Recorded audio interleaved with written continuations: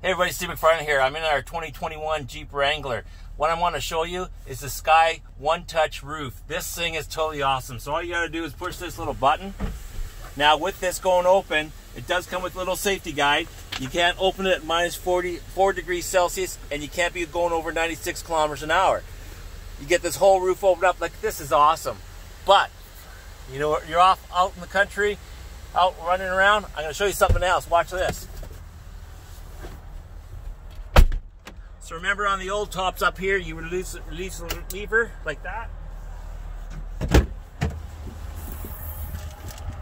Like that.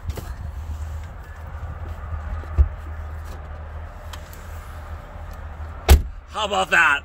That is Jeep Wranglering. So, you're ready for your Jeep? Where are you going to go? Mountain View Dodge? Who are you going to ask for? Me, Steve McFarland. Have a great day.